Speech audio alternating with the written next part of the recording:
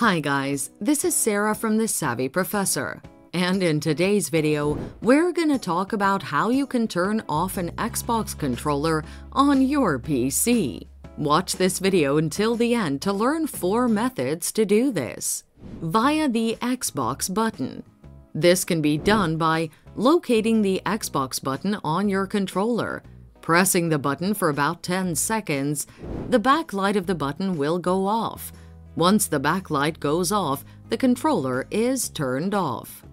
Ejecting the connecting cable. For wired Xbox controllers, you can turn them off by removing the connected cable from the USB port or your PC. Turning off Bluetooth. For wireless controllers connected via Bluetooth, you can turn off the controller by disabling your PC's Bluetooth connection. Take out the batteries.